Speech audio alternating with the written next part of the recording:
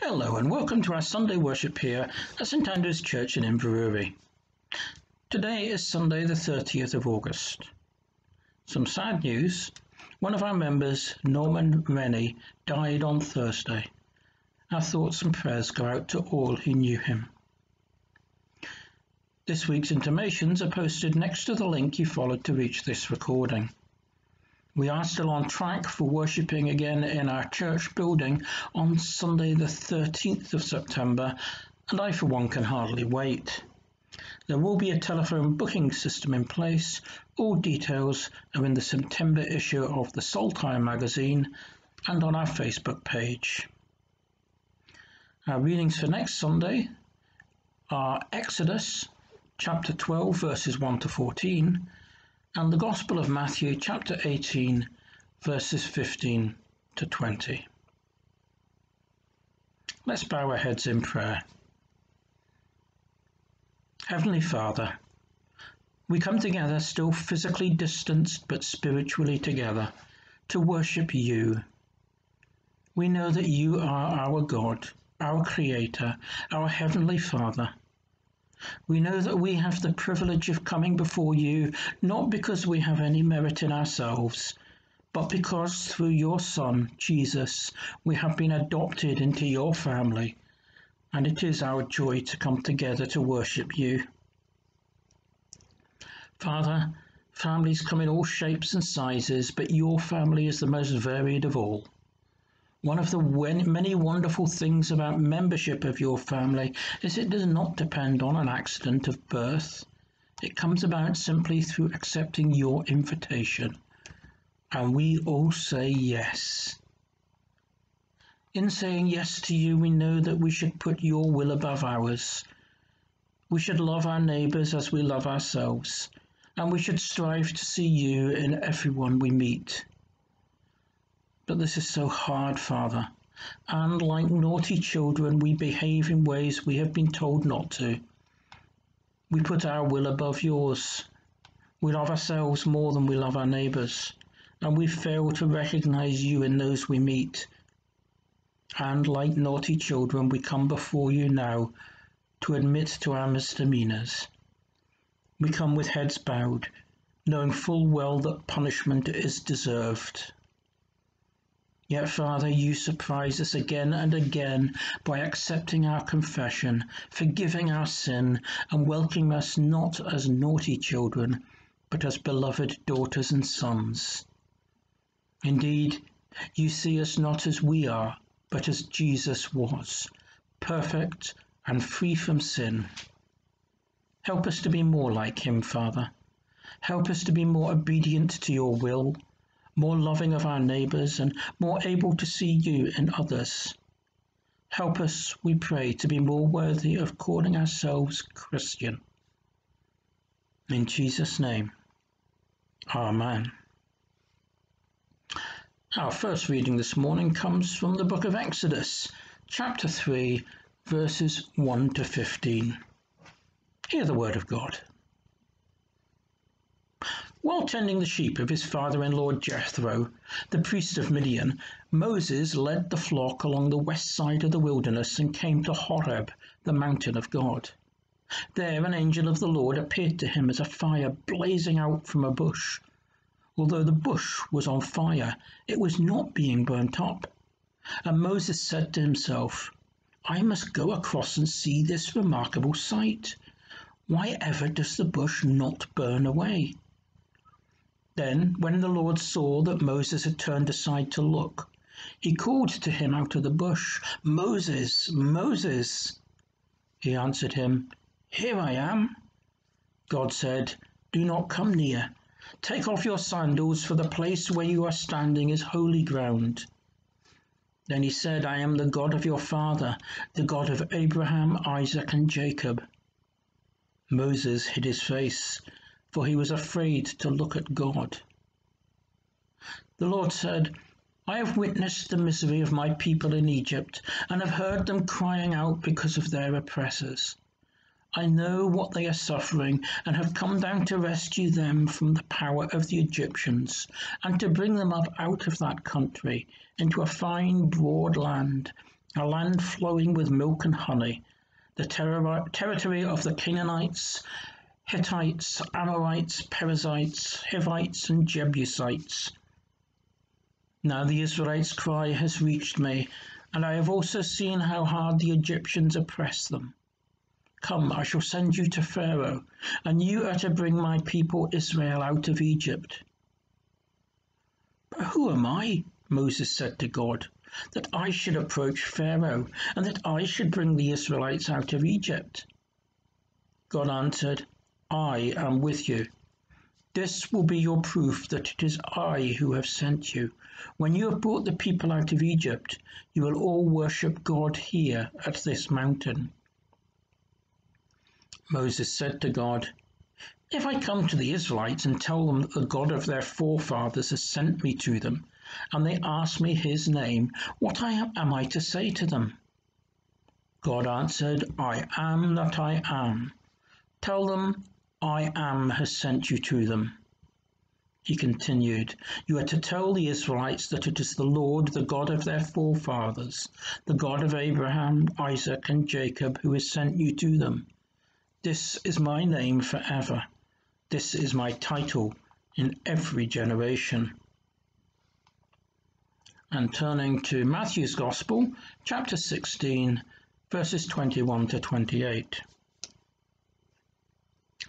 From that time, Jesus began to make it clear to his disciples that he had to go to Jerusalem and endure great suffering at the hands of the elders, chief priests, and scribes, to be put to death and to be raised again on the third day. At this, Peter took hold of him and began to rebuke him. Heaven forbid, he said. No, Lord, shall, this shall never happen to you. Then Jesus turned and said to Peter, Out of my sight, Satan. You are a stumbling block to me. You think as men think, not as God thinks. Jesus then said to his disciples, Anyone who wishes to be a follower of mine must renounce self he must take up his cross and follow me. Whoever wants to save his life will lose it, but whoever loses his life for my sake will find it. What will anyone gain by winning the whole world at the cost of his life? Or what can he give to buy his life back? For the Son of Man is come in the glory of his Father with his angels, and then he will give everyone his due reward. Truly I tell you, there are some of those standing here who will not taste death before they have seen the Son of Man coming in his kingdom. Amen. This is the word of the Lord. Thanks be to God for this reading from his holy word, and to him goes all praise and glory.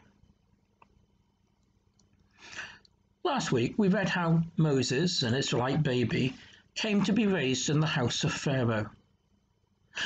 We now rejoin Moses about 80 years later. He had fled Egypt 40 years earlier after killing an Egyptian overseer who he saw badly beating in his flight.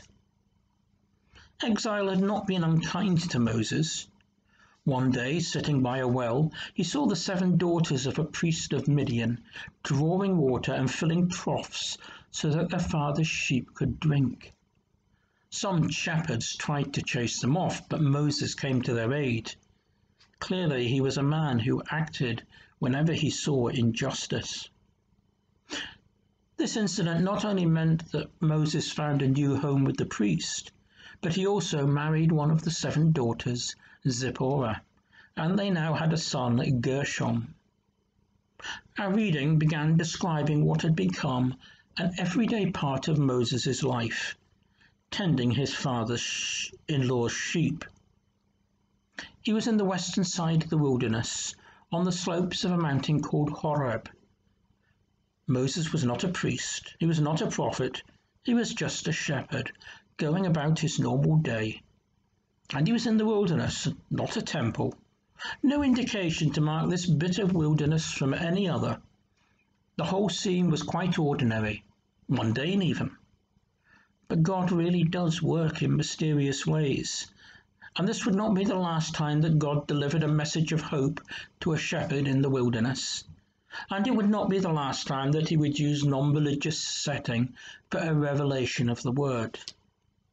So for us, with the benefit of hindsight, the setting for what would transpire comes as no surprise. The name Horeb actually means wasteland, and here in this wasteland Moses saw a strange sight indeed, a bush that seemed to be on fire, but the flames were not consuming the plant. This detail is often skipped over, but it does have significance. Moses heard God talking to him from the flames. The word of God was coming from the fire. But the word of God doesn't destroy, it creates, and so the bush remained unburnt.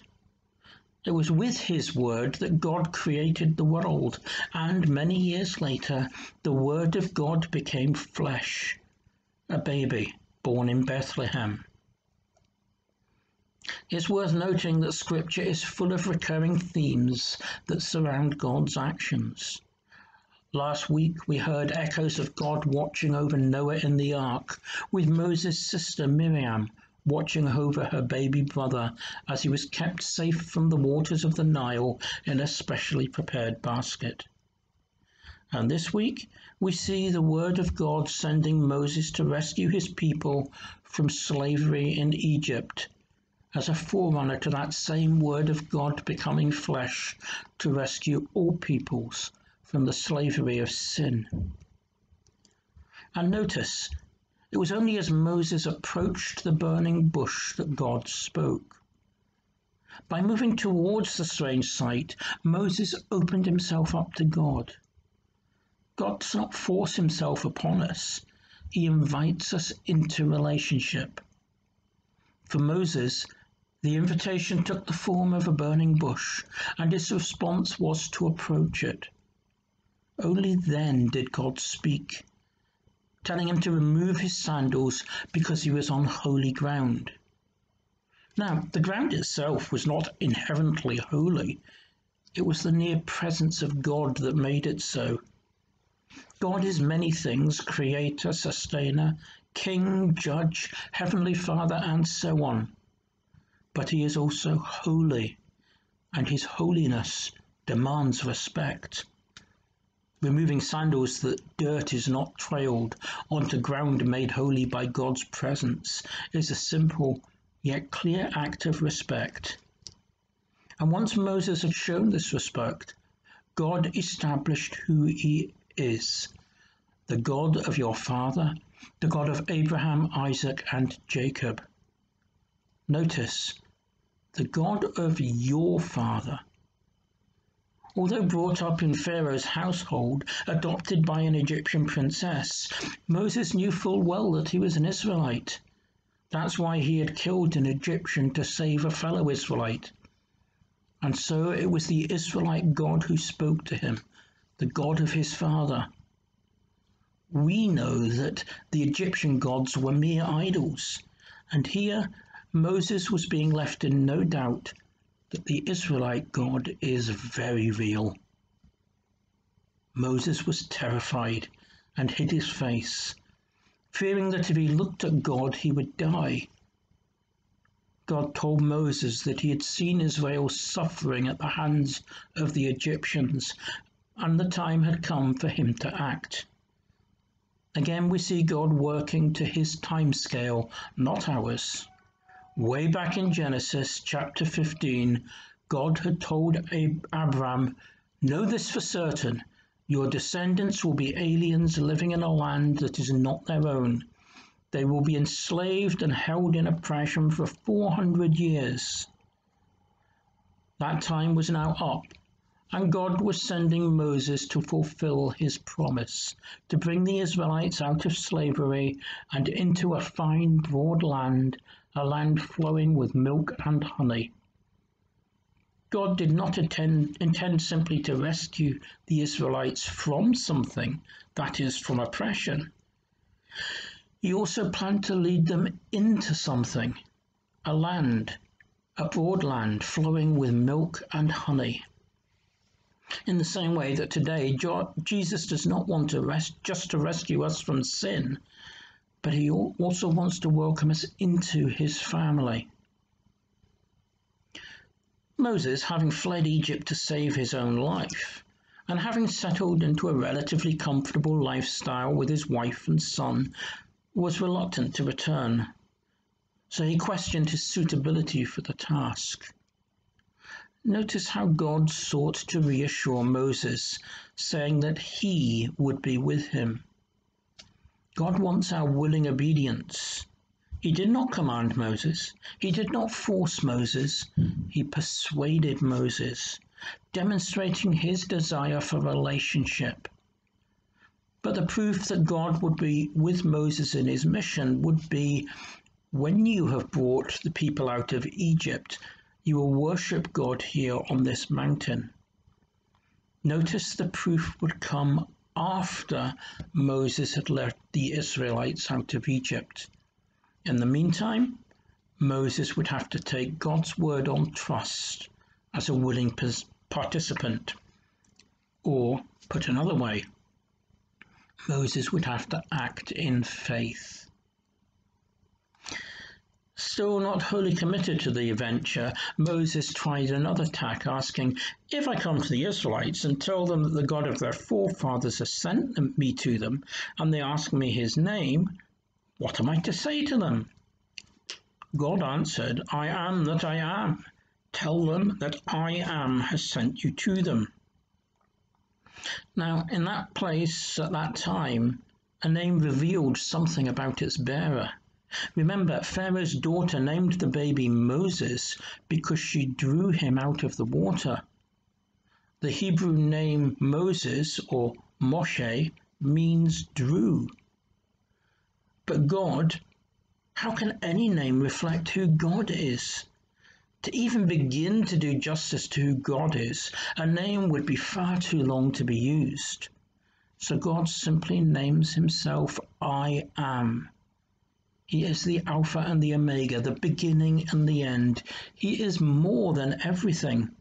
He just is. And so he names himself I am.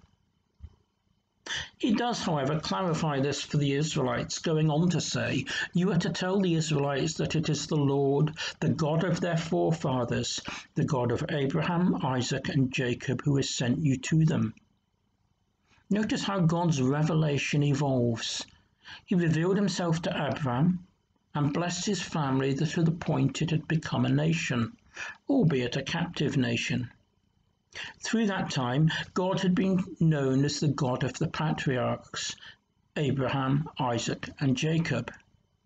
But now God was revealing more of himself. Nothing had changed about God. His true name had not changed. It was just he was now revealing more to humanity than he had done before. An unfolding revelation that stretched down to Peter as he declared Jesus to be the Messiah, the Son of the living God, as we saw last week. And from where our gospel reading picks up the story this week. Peter was probably feeling on top of the world. Why? Well, if you remember, Jesus had asked his disciples who they thought he was, and Peter replied, You are the Messiah, the Son of the living God. To which Jesus said he was favored, because that could only have been revealed to him by God, and that he was a rock and would receive the keys to heaven. Such praise undoubtedly left Peter elated. But Jesus then told the disciples of the necessity of his suffering, death, and resurrection. And Peter managed the journey from hero to zero in record time. Jesus had just praised Peter, then told the disciples how he must suffer, and Peter immediately took hold of Jesus and began to rebuke him. But Jesus responded, Out of my sight, Satan. Peter went from being blessed to being called Satan in what must have been a minute or two. I can just imagine how puffed up Peter was when Jesus told him he was best blessed, and how he wanted to crawl into a hole when Jesus called him Satan. It was as if the proverb, pride goes before destruction, a haughty spirit before a fall, had been written just for that moment. But why did Jesus react like this? Because Peter thought as men think, not as God thinks, and that is the root cause of sin. As soon as we depart from God's will, selfishness takes over, and sin is the inevitable consequence, which is precisely why we must always come back to the Bible, not once in a while, not just every Sunday, but as a regular pattern of life. In the final part of our Gospel reading, Jesus said that whoever wanted to be his disciple had to renounce self, take up his cross, and follow him. Expanding on this, Jesus said that whoever wants to save his life will lose it, but whoever loses his life for my sake will find it. Those who put themselves first, instead of placing the gospel first, will be unsuccessful in their self preservation goals because it is only Jesus' message that leads to eternal life. Sometimes I'm asked why we see bad people prospering, and the short answer is I don't know. But we can rest assured that they will not escape judgment. As Jesus said here, what will anyone gain by winning the whole world at the cost of his life? Or what can he give to buy his life back? For the Son of Man is to come in the glory of his Father with his angels, and then he will give everyone his due reward. Bad people may seem to prosper for now, and good people may seem to suffer for now. But here we read that Jesus will come in the glory of his Father with his angels, and when he does, he will give everyone his due reward. Those who have accepted him, he will accept, but those who have rejected him will learn too late just how big a mistake they made. And Jesus said one more thing that at first sight may seem like an unfulfilled prophecy. He said, Truly I tell you, there are some standing here who will not taste death before they have seen the Son of Man coming in his kingdom. Yet we know all those disciples present did indeed die, and Jesus has not yet returned. But Jesus' promise has more than one level of fulfillment. Six days later, three of his disciples would witness Jesus' transfiguration as he spoke on a mountaintop with Moses and Elijah. And all of them would witness the resurrection of Jesus, his ascension, and the coming of the Holy Spirit at Pentecost. Clearly, Jesus' prophecy was unsurprisingly fulfilled. In our Old Testament reading, God spoke to Moses from a bush which, although on fire, was not consumed, because the word of God does not destroy. In Jesus, that word became flesh. The light of the world, seen in the flames of the burning bush, was born in Bethlehem and given the name Jesus. In him, God is revealed, but only to the eye of faith. To others, God is hidden in Christ and they cannot see him.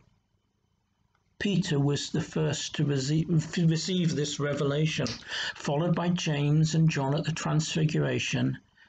And in time, this revelation was made to each of the disciples and countless believers ever since.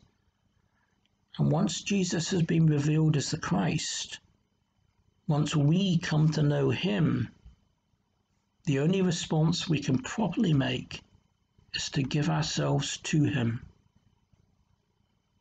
In the name of the Father, and of the Son, and of the Holy Spirit.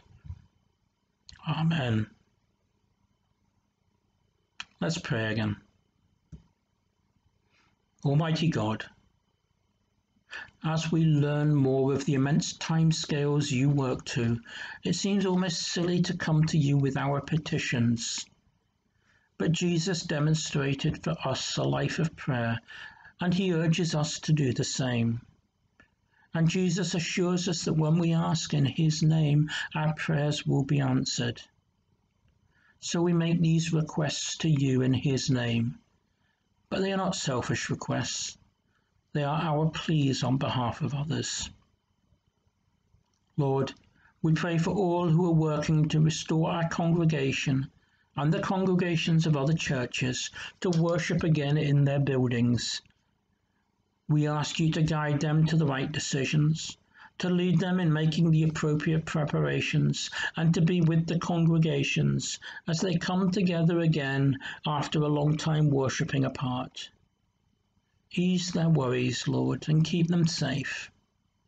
But Lord, help us also to remember the lessons that we have learnt over the past months that we can worship you anywhere, that we can involve people who, for whatever reason, are unable to come to the church building, and that our worship can take many different forms as long as it comes from our hearts and is directed to you. Father, even as we look forward to coming together again, we remember those who have been affected more than us by this pandemic we remember key workers who have carried out their duties diligently, often in the face of possible harm to themselves. We remember those who have struggled socially or financially during the time of lockdown. We remember those who contracted COVID 19, those who recovered but still have side effects to cope with, those who are still fighting the virus, and those who were defeated by it.